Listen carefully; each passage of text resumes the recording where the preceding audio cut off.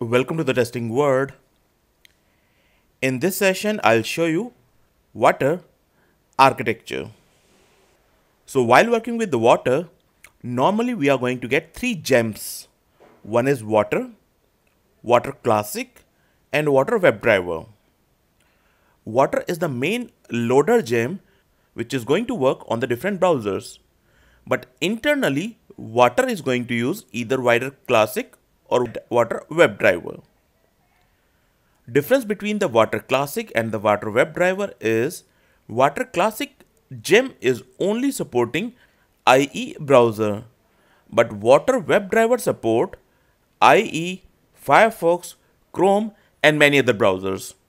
And if you understand this architecture, so here Watir WebDriver is a wrapper over Selenium WebDriver. So if you worked on the Selenium WebDriver, it's showing the wrapper over it means internally Watir WebDriver is using Selenium WebDriver. So that's a basic architecture which we need to understand. We are going to use Watir gem, but internally it is dependent on either Watir Classic or Watir WebDriver. And you can see in this architecture, Classic is supporting only on the IE browser, but Watir WebDriver support almost all the browsers which are supported by the Selenium WebDriver.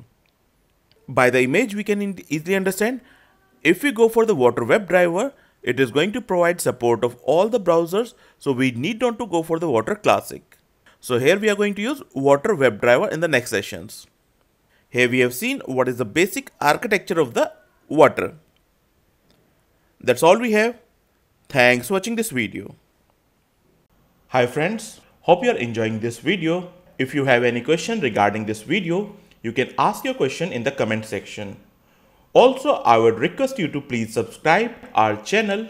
You can subscribe it by click on this subscribe button for getting notification about all the new videos which we are going to upload on the daily basis. Also, we are offering are all the video courses at very high discounted price. We have 50 plus video courses which can be beneficial for you in your daily job activities. If you are interested to buy any video course or all video course, you can call or WhatsApp us on this number. Also, you can be in touch with us by using Facebook, LinkedIn or Twitter. Happy learning!